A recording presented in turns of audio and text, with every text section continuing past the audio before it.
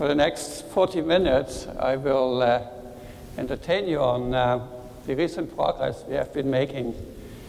First of all, in uh, developing new systems. Uh, we, we, love the mesoscopic domain.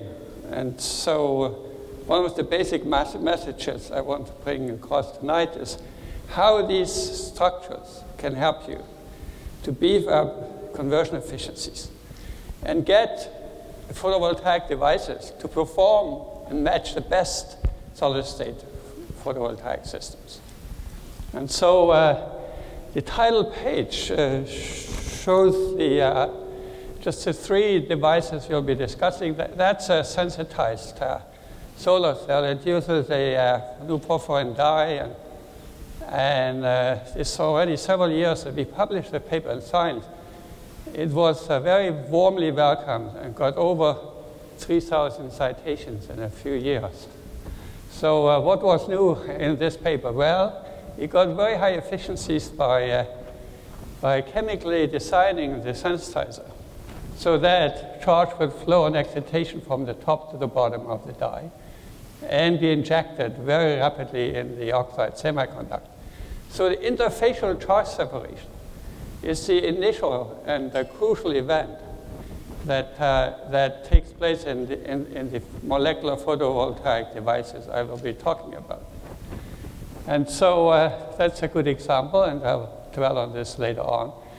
And to the left, we have a, a, a water cleavage device.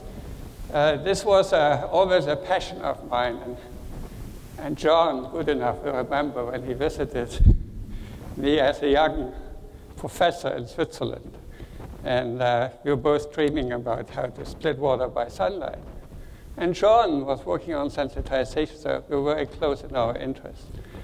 So here we have uh, the, uh, the uh, photo-induced oxygen evolution on these iron oxide nanorods and nanotrees, and uh, but we need some support, some voltage support, to get the uh, water cleavage complete by hydrogen evolution.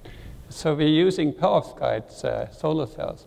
These are new, very promising uh, devices that uh, have the uh, peculiar feature that they develop very high voltages under solar irradiation. So they have very high voltage output, typically over 1.1, even over 1.2 volts. And so we use that voltage to complete the uh, water splitting reaction, to drive the water splitting reaction to completion. So let's uh, get going. And uh, so the outline, to, I, I, talked to you about molecular photovoltaics, weird virtues of mesostructure, and then uh, I will talk to you about electricity and fuel generation, some applications. And so, uh, well, we all know the, uh, the primary act in, uh, in the photovoltaic conversion by a sensitized system that the uh, mo molecular sensitizer gets excited and then injects an electron in the, uh, in the oxide support that serves as an electron selective contact. The dye only injects the electron, not the positive charge, in the oxide. So you get the selectivity by choosing the right contact.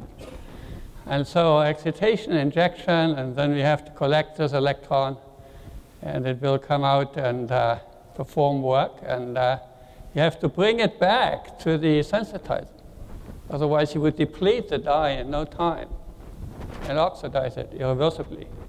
So we need that very important shuttle that uh, moves electrons back from the uh, back contact or counter electrode to, the, to regenerate the sensitizer. Much of the recent progress in this field has been uh, in the design of new sensitizer molecules, or the molecular engineering of sensitizers. But not only, we had uh, been suffering over 20 years from a, a, terrible mismatch between the redox couple that was shuttling the uh, electrons back and forth, which was the iodine triiodide couple and the sensitizer. So uh, about half of the light energy was lost in the regeneration step. But uh, these times are gone. We have new shuttles. And I'll tell you more about it later. so so uh, that recently we have seen a surge of, uh, of uh, power increase with these systems. They certainly are very, very promising and will uh, in inject new uh, di dynamics into the dye-sensitized solar cell research. But uh, this is the beginning, like 50 or 60 years ago, we have Professor Gerischer, and uh, so his co-authors, Michel Bayerlich, he's still active as a re researcher. They found out just that the sensitization was an electron injection or a hole injection event. But then they also discovered that when you do this on a planar surface, which at that time was the uh, paradigm, you used single crystal zinc oxide electrodes typically. That when you did that, that the, the, the currents, photocurrents, were miserably small. And John will remember when he, he used ruthenium complexes. We, we got some nanoamps currents. Very difficult to measure. so so uh, that, that was a big uh, drawback. And uh, so the, uh, the, the, the, the, change uh, was dramatic when we, we reintroduced the, the, the mesoscopic scaffold of ox or the oxide. So we introduced simply an, ox an oxide TiO2 colloid or particle network to uh, absorb the sensitizer. You see that uh, configuration here, and uh, you see the dramatic effect that happens when we, uh, when we do that. We, on the top, you have a single crystal uh, oxide electrode cut into the, uh, the 101 direction. And, uh, and so this is the expensive way, but very inefficient way. The, the, scale here is incident photon to current conversion efficiency. So you read something like 0.1 percent. That means one out of a thousand photons that strike the electrons at best get converted to electric current.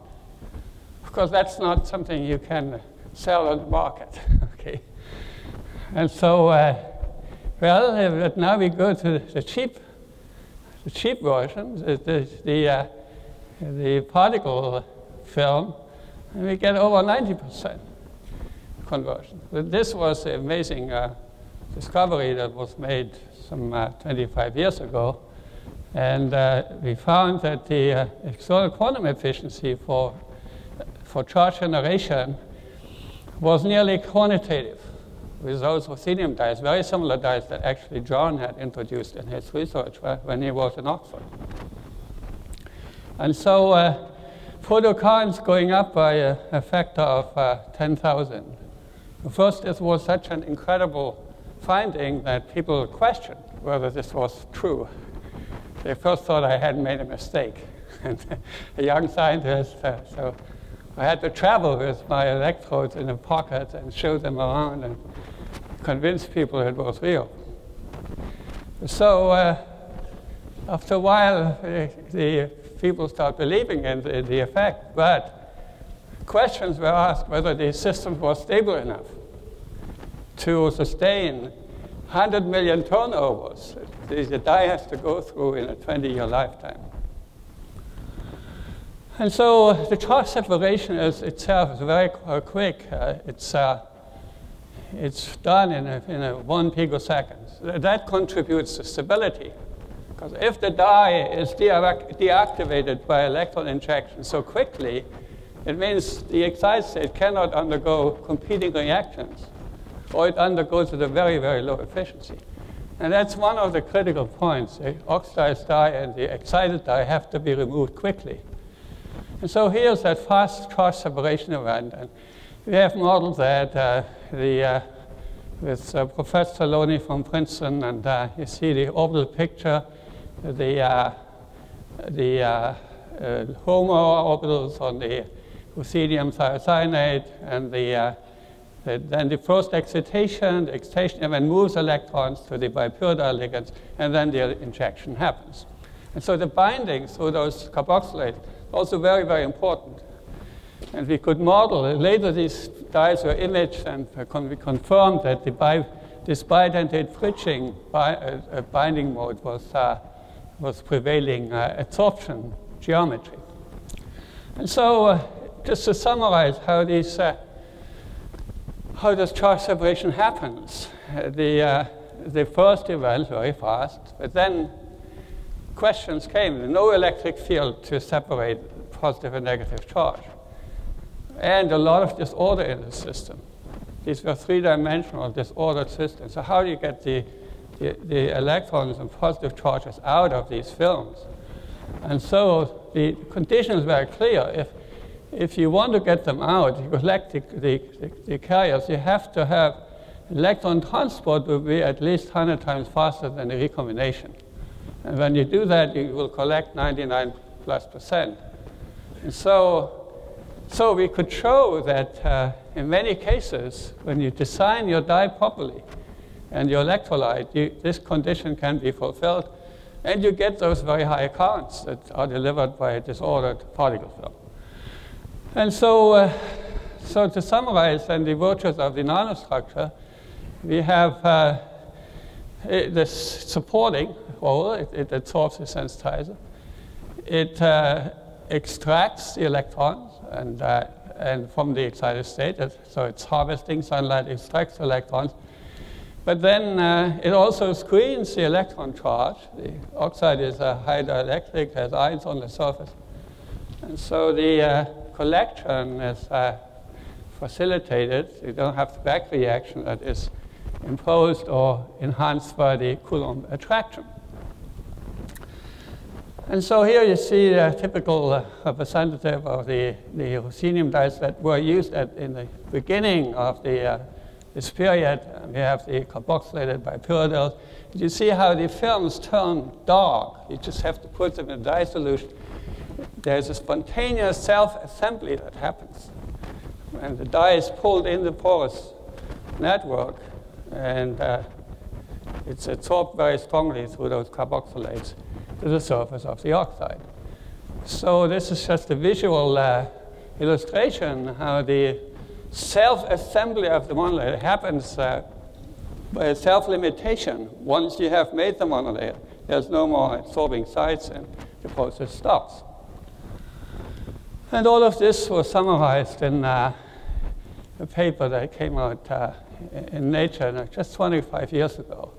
So uh, it's uh, collect lot of citations because uh, it was the first time somebody had used a three-dimensional uh, PN junction, or junction if you like, was an electrochemical junction in this case, to uh, convert light to uh, electricity. And uh, you can see the, the red color, that's the, the ruthenium dye. The conversion reaction is going on as you look at this uh, slide. We see the fan turning uh, from the ambient light that is striking the device. And so this collects light from both sides, front and the back. So it's a bifacial solar cell. And turned out later that we have actually in the diffuse light the record efficiencies when it comes to conversion of ambient light to electricity, the performance is unmatched by any other photovoltaic system. So many other, uh, what should I say, uh, derivatives of this concept are found. You have the quantum dot sensitization and solid state devices. So I pass over this, and just to, uh, to, to give you a feeling what the research is going to at, at this stage. And so the new dyes are being designed. Um, so the donor acceptor concept is, uh, is very successful. So you have the donor part, the chromophore acceptor, and the acceptor is tied to the TiO2 or whatever oxide you use as electron acceptor. And so this is a, a, a, good example. We have this famous porphyrin dye. You have a donor function, you have the acceptor function, chromophore in the middle, and now that gives over 12% efficiency. But we had changed something important. We had moved from the iodide to the cobalt-based electrolyte. Uh, and that was a key, a key element to get higher voltages out of the cells. And so, uh, so the, uh, the loss You can see with the iodide, the loss is huge. It's about a half a volt loss. When we use cobalt complexes, or more recently, uh, the uh, copper complexes, and I'm citing here the work by uh, Marina Freitag. She's, she's actually here at the meeting, and she will give a talk tomorrow afternoon at the D01 session. So the, the copper and cobalt complexes have become uh, uh, some real breakthrough in the design of the redox couples that would carry the charges from the um, photoactive electrode to the counter electrode. And graphene was also introduced as a catalyst at the counter electrode. That was important because it cut down our interfacial um, resistance, or electron transfer resistance for interfacial electron transfer by a huge factor. We still don't understand fully why graphene is so much better than, than platinum for these simple one electron outer sphere redox couples. But that's a matter of current investigations. And so uh, there's also a zombie cell that uh, uh, in and Marina Freitag in Sweden, they were still in Sweden at that time, they, they had one cell that lost the solvent, elect the acetonitrile uh, evaporated, and the cell worked better without the solvent. so that was uh, quite a shocking observation. And so that has led to the discovery of uh, ho hopping conduction in the solid uh, copper complexes uh, that are amorphous solids and conduct by hopping. It's like a hole transporting material that is a solid state hole conductor. And so we have uh, joined forces with uh, Marina and the rest of the group and Anders. And this is our latest paper, which uh, deals with the copper phenanthroline. Uh, this research is going uh, very quickly and making excellent progress uh, to design these new shuttle systems that regenerate the sensitizer at a minimum driving force. Remember, I told you the iodine triiodide, we need 500 millielectron volts, sorry, even more, sometimes 600, to drive the regeneration reaction. So the oxidation of iodide to triiodide is, uh, comes at a very large energy cost. With these, with these copper complexes, we can drive the reaction with 150 millivolts. So the losses become so small that these cells develop uh, open circuit voltages that are over one volt, threatening now the perovskite solar cells that used to be far away from the, uh, the dye-sensitized systems. And because they have this high voltage. And so that's a very interesting uh, evolution. We'll see where we end up with, with these systems. I just wanted to tell you that the uh, performance of these uh, green dyes particularly impressive in diffuse light. And uh, at 200 lux, this is a standard for diffuse light applications, we get 15 microwatt per square centimeter, which matches the best PV cell that is around today, uh, gallium arsenide. Gallium arsenide costs about 200 times more than this cell, but cannot do better than the simple dye uh, that, uh, that absorbs light and uh, generates electric charges. So this has led to interest from a commercial side, and uh, so a number of applications have emerged. So uh, some uh, companies are now producing those green panels, and this is a car charging station in, near the G2E. it's The company name is G2E. company headquarters in in, in Switzerland. And we see again this uh, charging station. We also have the first installation on our highways in Switzerland. And uh, this uh, one is producing over 1,000 kilowatt hours per year, just using an aesthetically pleasant design. It looks like a green fence, but it's also a sound barrier, okay? So it fulfills se several tasks, but the most important one is to generate electric power. And that power then is used to charge electric vehicles. That's, that's the idea behind it. And these are some balconies where you have, uh, I mean, this is a, uh, these panels are selling very well. So it's actually a big success for the dye sensitized technology. And the company is producing these cells is sold out. If you order today, you have to wait three years to get your panels. I already put my order in for my house, and uh, so I will have to wait a little bit. So uh, the other applications from the diffuse light, and I just mentioned the backpack. We had given one to Al Gore when he came to Switzerland, and this was actually the last one we had. It was my bag. I had already used it. It was given to Al, and he came by because our president had run out of the, the red bags. And uh, also, I, when I met with Bill Gates, I, I, gave him one. He really liked technology. We could power also these uh, keyboards. So, uh, so we, uh, we got a good uh, comment from him. And he last year he, he talked about energy innovation and at the Paris conference and mentioned the dye sensitized systems as being a really future future promise. So there are a number of applications. Let's pass through it quickly. Uh, this is our convention center with the uh, panels. Very nice from inside. It's aesthetically stunning. Here's a company in, in Sweden. The uh, company is uh, called Exeger, and they just uh, ramped up the production to 200,000 square meter a year. So, so technology is become a commercial commodity. And John, we can be glad something came out of our research. We should, we should rejoice, okay? Uh, and so, uh, yeah, so let's turn on to uh, Guides, uh, which uh, is also a very nice uh, story. I mean, the, uh, the, uh, the, the Guide emerged. I should insist that they, uh, they emerge from dye sensitized systems. And uh, of course, uh, they have very interesting uh, properties, strong absorption. And these are amazing solids.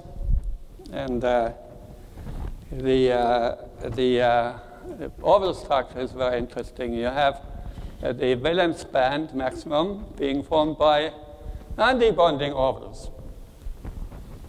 And so is the the conduction band minimum. And so, uh, so if you weaken the bond, for example, we will talk about multi-cation in a minute. We add several cations in the structure. We, we, we weaken the bond because the octahedral are not aligned anymore perfectly as they would be in a cubic structure. But weakening the bond means actually stabilizing the structure. You gain energy. So that you have to kind of get in your brain. because you weaken the antibonding. Uh, if, you weaken, uh, if you weaken something that's antibonding, it becomes less antibonding. That means more bonding. So, so it's a little bit of a mind-boggling thing, but I guess you get used to it after a while. Uh, so uh, yeah, we should get credit to uh, Tsutomu Miyasaka for having uh, done the pioneering work on the, uh, on the sensitized cells and electrolytes first, and, and Namgyu Park followed, and be quick. So we had we had then the solid state structures like, where introduced. All of this happened four years ago, and then there was a big, a strong rise. I see here the number of publications. This picture was taken in uh, about a year ago there was already a thousand publications. After about three or four in year 2012, a couple of years later, there are 2,000. I mean, it's an amazing observation. And the reason why this was, uh, was uh, such a attraction for researchers was the very fast growth in efficiency. And we can see the efficiency going up very steeply here. It was uh, 20 percent but, uh, a year ago, but it's now 22, or even a little bit higher than that. And so, uh, so we had certified our cell efficiency um, if you look at those orange uh, uh, circles, uh, we had an, a certification, certification very important. I mean, you can always claim your cell is worth, I don't know, 30%, but uh, in photovoltaics, nobody believes you that. You have to take, if you claim a new record, you have to certify it.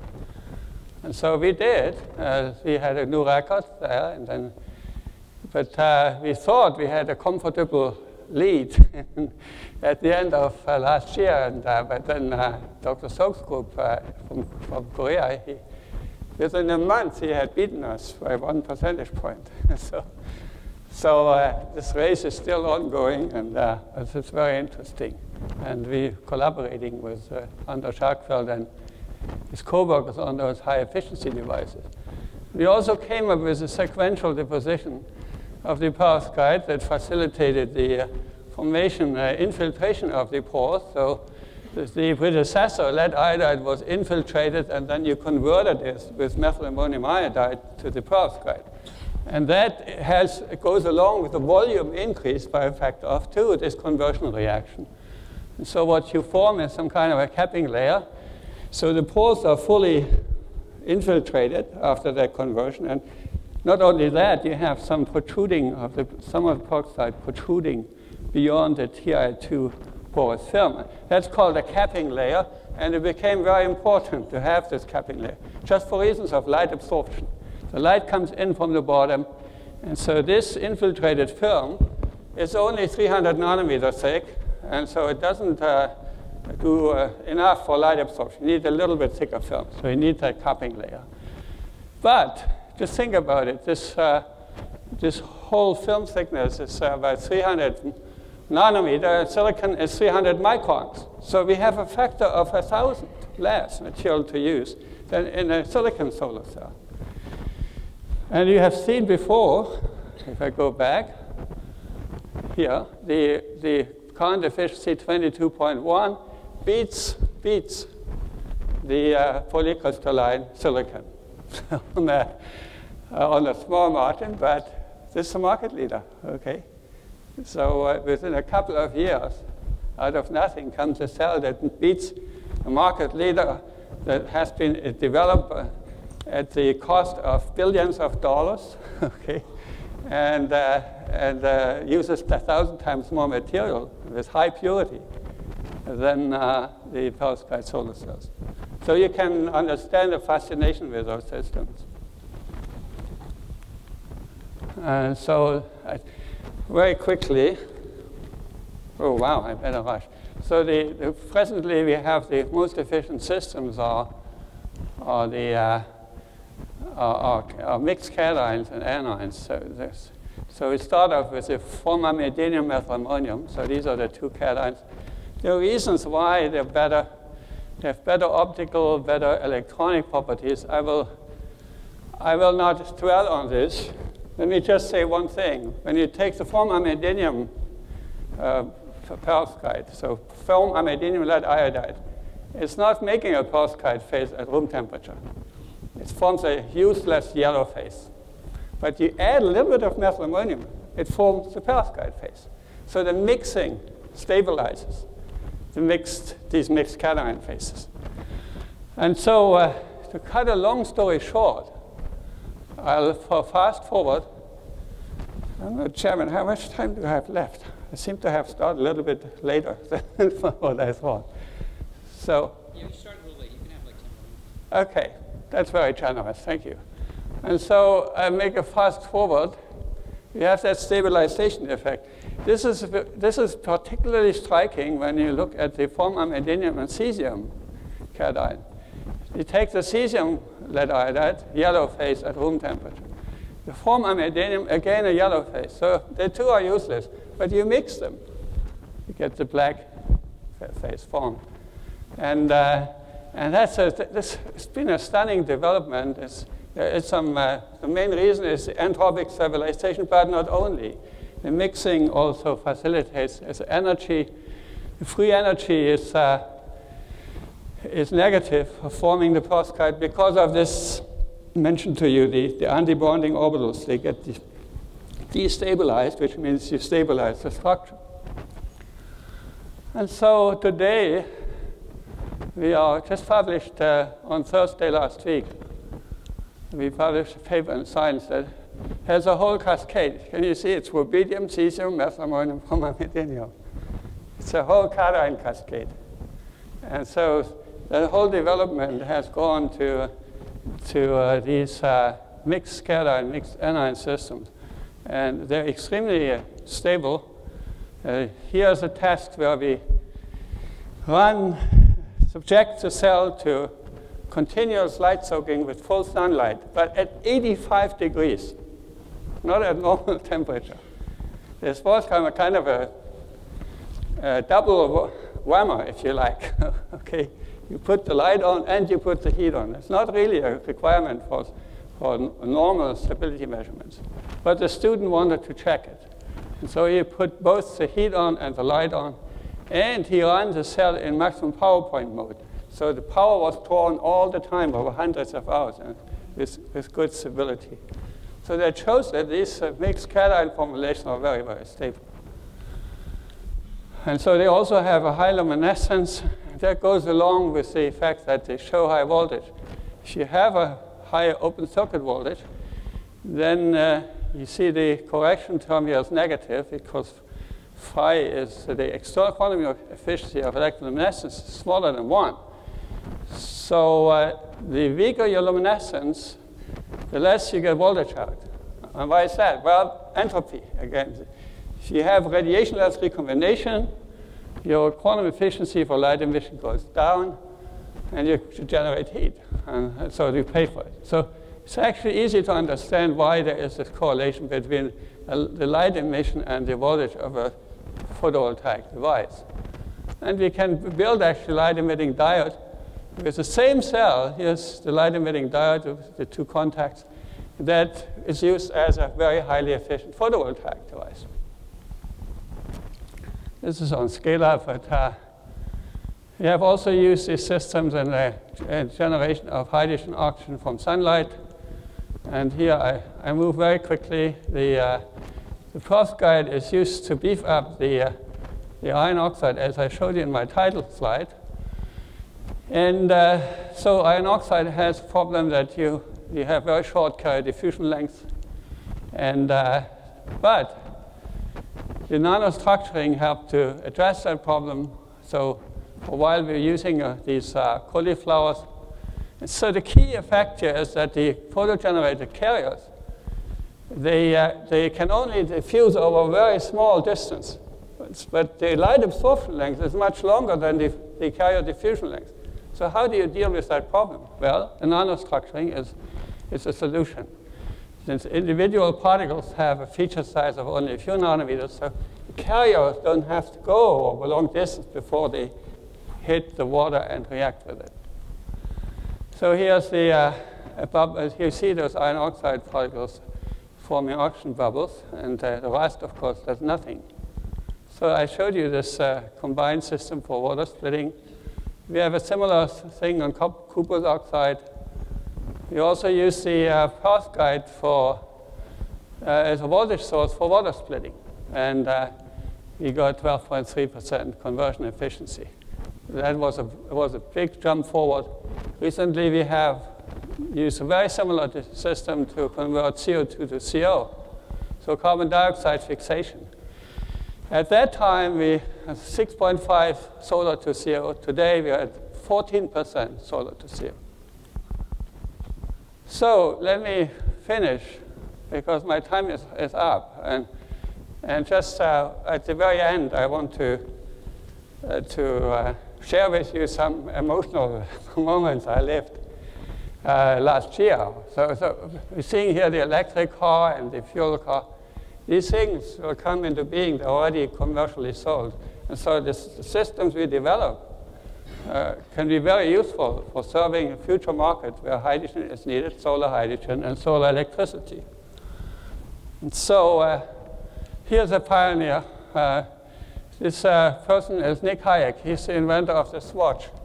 I think all of you know what a Swatch is. It's a Swiss watch, okay?